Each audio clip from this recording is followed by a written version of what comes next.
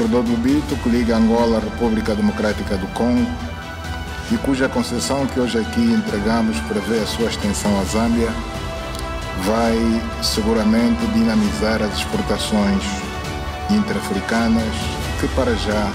apenas representam 14% do total efetuado para o resto do mundo.